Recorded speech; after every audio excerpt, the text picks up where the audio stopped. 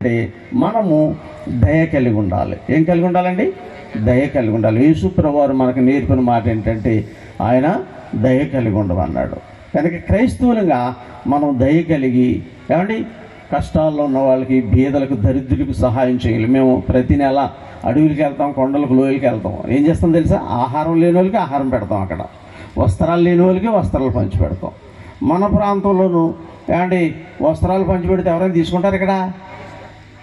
తీసుకోరు. ఎందుకంటే ఇక్కడ కుక్క ఎక్కంటారు సరే ఎక్కువ బట్టలు ఉన్నాయి. ఎక్కువ తిండి ఉంది ఇక్కడ. కానీ మనం ఏం చేయాలి? ఎక్కడ ఆహారం లేదు వాళ్ళకి. ఆహారం పెట్టాలి. ఎక్కడ వస్త్రాలు లేవు వాళ్ళకి. వస్త్రాలు ఇవ్వాలన్నమాట మనం దయ కలిగి ఉండాలి. రెండవది చూద్దాం. మత్తి సువార్త మొదటి అధ్యాయం పంతొమ్మిదో వచనం. మత్తి సువార్త మొదటి అధ్యాయం పంతొమ్మిదో వచనం.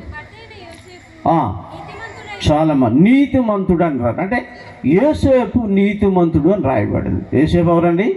నీతిమంతుడు.